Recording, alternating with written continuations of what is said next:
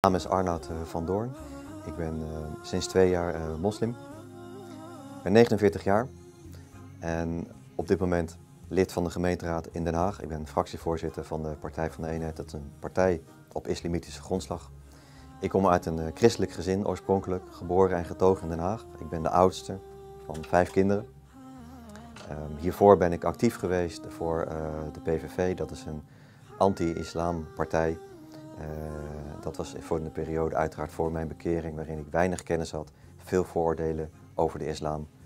الهولندي أرنولد فان دورن منتج فيلم فتنة المسيء للنبي صلى الله عليه وآله وسلم كان ناشطا سياسيا فعالا في حزب الحرية المعادي للإسلام فكيف انتقل من أقصى التطرف اليميني إلى دين الوسطية؟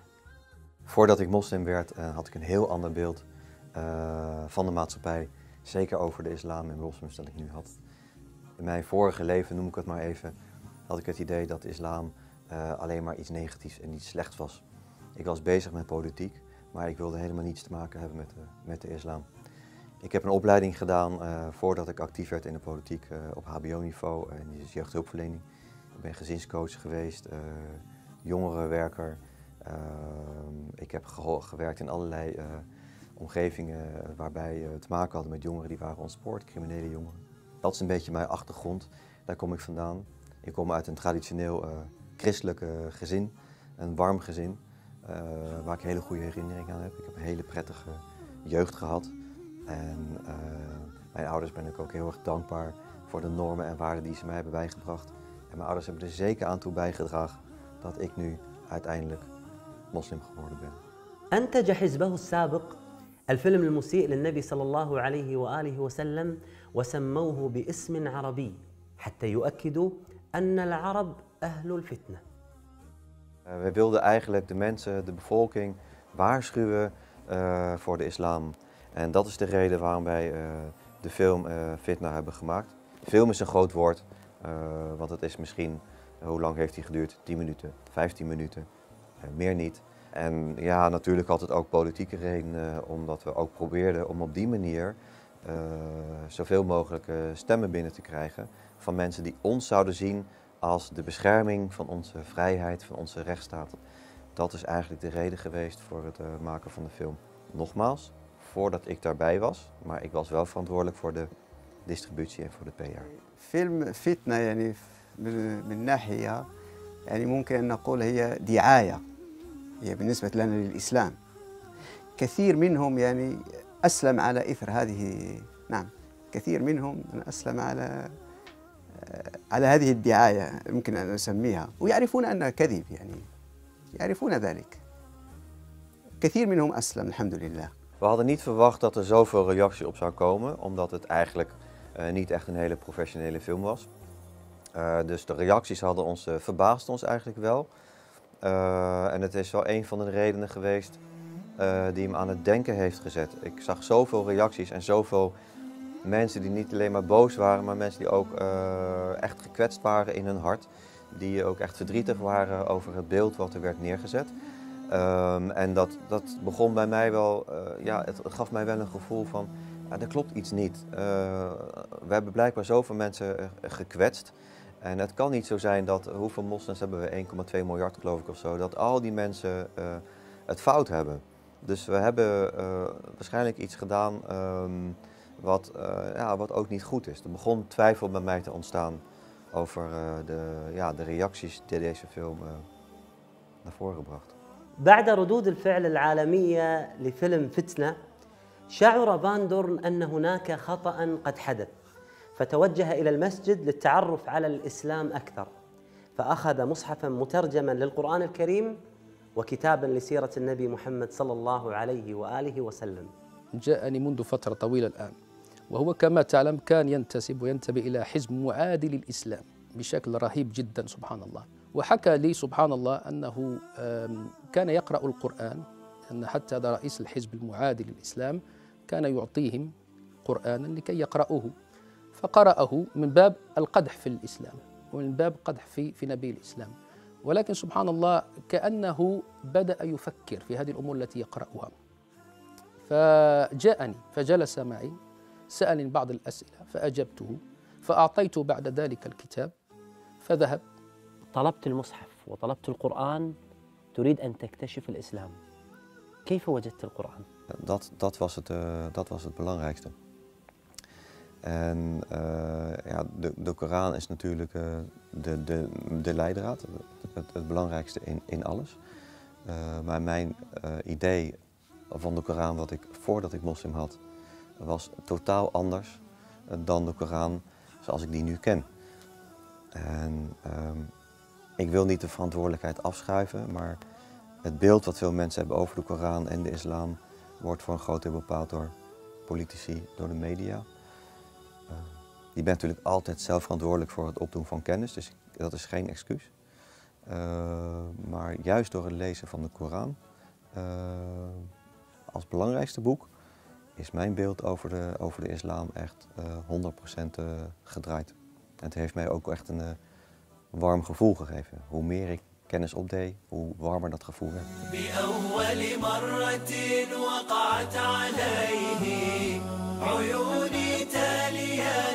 أحسست فيه كأن سطوره فجر وعطر وقد ضم الحياة بدفتيه وأنت تقرأ القرآن أريد أن أعرف ما هي الآية التي تأثرت بها Het vers wat, nou, de hele Koran is natuurlijk uh, prachtig en het is heel moeilijk om te zeggen dat ik één vers mooier vind dan het andere. Uh, alle versen bevatten uh, wijsheid natuurlijk. En, um, maar er is één vers, ehm, ik weet niet welk nummer dat is, het is een onderdeel van Nisa. Ik geloof dat het vers 36 is en tot 40. Dat is het vers waarin eigenlijk de liefde vanuit de Koran spreekt. Het is eigenlijk een, misschien dat ik het niet zo mag zeggen, maar een beetje de samenvatting van zoals ik het heb, de Koran heb ervaren. Namelijk dat je dus gewoon een goed persoon moet zijn. Dat je liefdevol moet zijn naar je omgeving, naar je buren, naar je ouders, uh, naar reizigers. Dat je de rijkdom die je hebt, eventueel die je hebt gekregen van Allah, dat je die ook deelt met anderen. Dat je niet gierig mag zijn. وهي الآية في سورة النساء واعبدوا الله ولا تشركوا به شيئا وبالوالدين إحسانا وبذي القربى واليتامى والمساكين هذه الآية تتحدث كيف يتعامل الإنسان مع الإنسان uh, dat je niet moet pronken met wat je hebt alleen maar om te laten zien uh, wat je hebt. Dus de kern van het uh, proberen een, een, goed mens te zijn, een goed voorbeeld te zijn, ligt naar mijn gevoel voor een heel belangrijk deel in dat vers.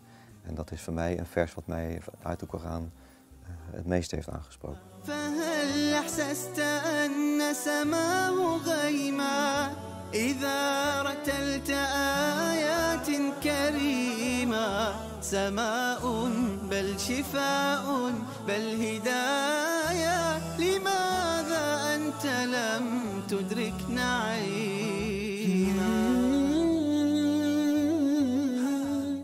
هذه الآية رسالة لنا جميعاً.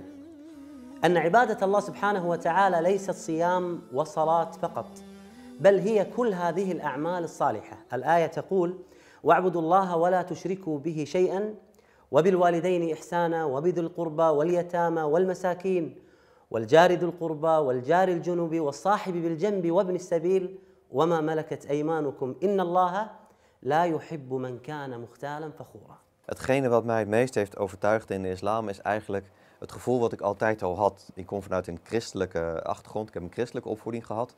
Dus ik ben heel erg bekend met de, op zich de normen en waarden die ook in de islam uh, bekend zijn. Maar ik heb altijd het gevoel gehad dat er iets niet klopte.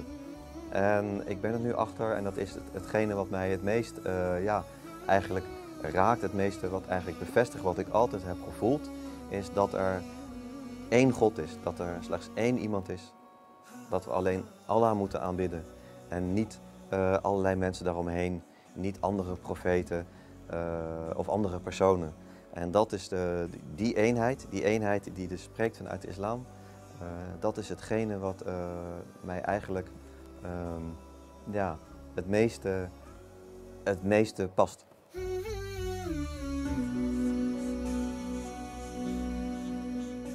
وبعد فترة أظن بأنه بعد ثلاثة أشهر ثلاث تقريبا جئت من خطبة الجمعة فدخلت فإذا به يخرج من هذه الغرفة فقلت للأخ الذي كان معه قلت له ما الذي حصل قال لقد دخل في دين الله عز وجل أخذ هذه الكتب سبحان الله قرأ في هذه الفترة فتح الله سبحانه وتعالى صدره للإسلام فجاء فأنا حقيقة تعجبت من هذا الأمر وأنا أقول هي آية.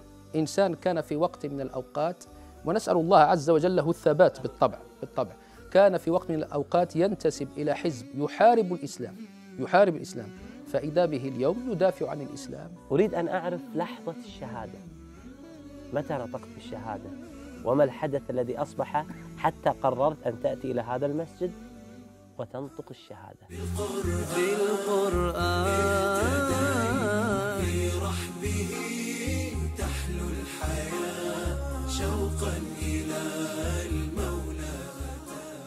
كان المدى أشواك. حتى كسه الندى والقلب قد أرضاك. يا رب حين اهتدى يا رب حين اهتدى. متى نطقت بالشهادة؟ وما الحدث الذي أصبح حتى قررت أن تأتي إلى هذا المسجد وتنطق الشهادة؟ Ik zal proberen dat in detail eh, te vertellen. Ehm, ik heb in tegenstelling tot wat heel veel mensen doen, de shahada niet uitgesproken tijdens, tijdens het gebed of tijdens bijeenkomst. eh, bijvoorbeeld eh, tijdens het vrijdaggebed hier eh, in deze ruimte.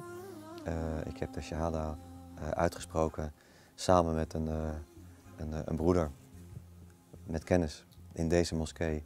Maar in een, in een ruimte hierboven, die we misschien straks nog wel even zullen zien. Dus we waren daar eigenlijk alleen maar met z'n tweeën. En het moment van het uitspreken van de shahada leek van tevoren voor mij eigenlijk meer een, een formaliteit, omdat ik in mijn hart en mijn gevoel eigenlijk al moslim eh, was na, eh, na dit jaar opdoen van kennis en, eh, en leren over de islam. Ehm, maar tot mijn verbazing was het toch nog een heel emotioneel ehm, moment. Ik had ook wel wat, was ook wel ontroerd, ik had ook wel wat, wat traantjes.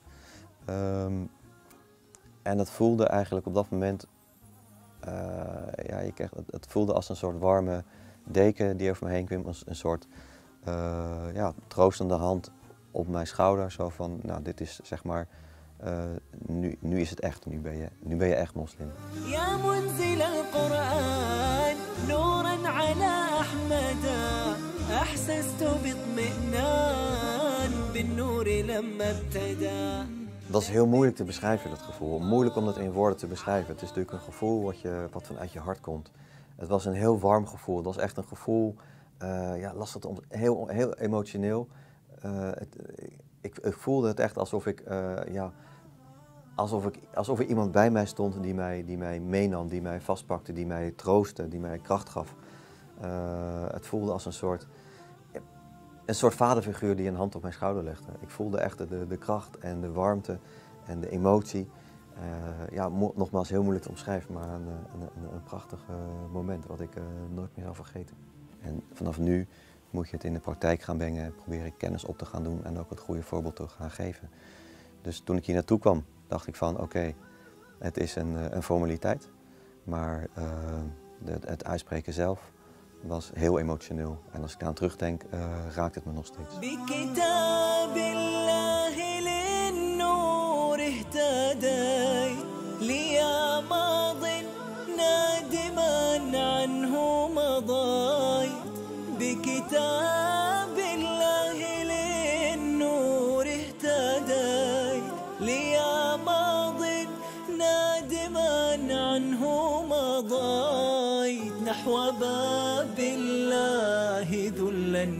فانحنيت راجيا أن يغفر الذنب العظيم. وهكذا أسلم فان دورن واستمر في حياته السياسية ولكن بقلب ممتلئ بالإيمان وفكر متطلع لخدمة الإسلام والمسلمين. فنضول ليس من يعني من من السهل. يعني لأنه كان حزب عنصري. يعني أكيد لأنه كان يحارب الم- المسجد. مثلا هذا المسجد كان يحاربه. مثلا المرة الأولى عندما أتى قال لي كنت أحارب هذا المسجد والآن أنا أوجد بداخله يعني أحمر وجهه يعني. يعني لست أدري لماذا لأنه ربما حس ب بأنه نادم. لأن الإنسان بالأمس كان يحاربك والآن يأتي بين يديك. يعني شيء غريب يعني. بعد إسلامك أخي أرنولد هل استمريت في العمل السياسي والترشح للانتخابات وهل نجحت في الانتخابات؟ We zijn, eh, vlak nadat ik bekeerd ben, eh, heb ik samen met een, eh, een vriend van mij, uh, Abdul Ghulani, een partij opgericht op islamitische grondslag. Dus een partij eh, die de, als, als rode draad zeg maar, de, de islam heeft. Eh, hier in Den Haag. In Den Haag hebben we eh, meer dan de helft van de mensen hier heeft een eh, immigrantenafkomst. Daarvan is ongeveer 70% eh, moslim. En er was eigenlijk geen ehm, partij, geen vertegenwoordiging in deze gemeenteraad om voor die mensen op te komen. Dat zijn wij nu wel. Wij zitten nu in de raad. Wij zijn gekozen vorig jaar. En ehm, wij zijn nu eh, hard bezig om op te komen voor de rechten van de, de moslims in deze stad.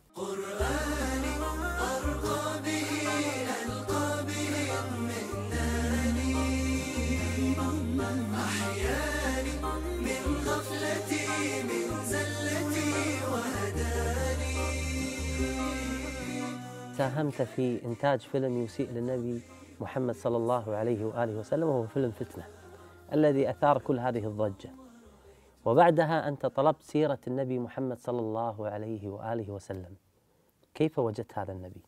Omdat ik ontzettend veel bewondering heb voor deze man. De, het, het leven wat hij heeft gehad. De tegenslagen die hij heeft ondervonden. eh, de vernederingen, de, de agressie eh, vanuit zijn familie, vanuit eh, eh, delen van, de- van, van de bevolking in die tijd. En dat hij ondanks al deze tegenslagen en ondanks al deze aanvallen eh, op zijn persoon, dat hij toch zo eh, zacht is gebleven, rechtvaardig is gebleven, barmhartig, vergevingsgezind. Dat is voor mij ontzettend knap. Dat vond ik ook heel ontroerend om eh, te lezen. En dat is voor mij een, een, ja, eigenlijk een, een, rolmodel. Het is een, een voorbeeld ehm, waar ik natuurlijk nooit aan kan tippen, maar, maar wat ik wel probeer zo goed mogelijk te volgen. En het is ook relativerend, omdat de tegenslagen die ik zelf tegen, tegenkom, en die zijn, die zijn er natuurlijk ook, in het niet vallen bij eh, de tegenslagen die de profeet vrede zij met hem heeft ondervonden. في الحديبية كان عدد المسلمين أكثر من ألف تقريبا فلما دخل بعد ذلك في السنة الثامنة هذا بعد سنة بعد سنتين لما دخل إلى مكة كان عددهم أزيد من عشرة آلاف سبحان الله لماذا؟ لأن الإسلام ينتشر في وقت السلم أكثر من انتشاره في وقت العنف والحرب. لأن هذا الدين لا يحتاج لا إلى سيف ولا إلى حروب ولا إلى إراقة الدماء أبدا. لأن دليله قوي سلطانه قوي حجته قوية. نحن الذي نريد أن نعيش مع هؤلاء في هدوء وطمأنينة.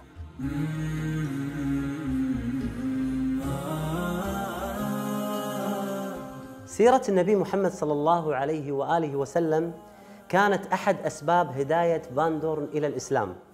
فاقترحت عليه أن يعمل سلسلة من المحاضرات لسيرة النبي محمد صلى الله عليه وآله وسلم ولكن باللغة الهولندية أن تكون مركزة في سيرة النبي محمد صلى الله عليه وسلم ونشر هذه السيرة ونشر أخلاق النبي عليه الصلاة والسلام وهذا المهم هل أنت موافق؟ Absoluut, dat is de basis van, eh, van alle kennis, denk ik, zeker naar jongeren toe. Dat we daarmee eh, heel veel kunnen bereiken als de jongeren meer leren over het leven van de profeet vrede zij met hem. En zijn voorbeeld daarmee ook kunnen, kunnen gaan volgen. Dat is denk ik het belangrijkste en de kern eh, om, om, om op deze manier jongeren eh, op de goede weg eh, te krijgen. En ook een voorbeeld te laten zijn als ambassadeurs voor de islam. إذا أنا وأنت وإخوانك بإذن الله عز وجل آه، في موقع نون المتخصص في القراءات سوف نكون داعمين لهذا الشيء لنشر سيرة محمد عليه الصلاة والسلام بارك الله فيك wat. De Koran is, is mijn leidraad. Daar komt het eigenlijk op neer. Het is een boek wat voor mij bepalend is over hoe ik in mijn leven sta. Hoe ik om moet gaan met mezelf, hoe ik om moet gaan met andere mensen, hoe ik om moet gaan met deze maatschappij. De Koran is mij de bron van wijsheid, de bron van liefde, de bron van kennis. In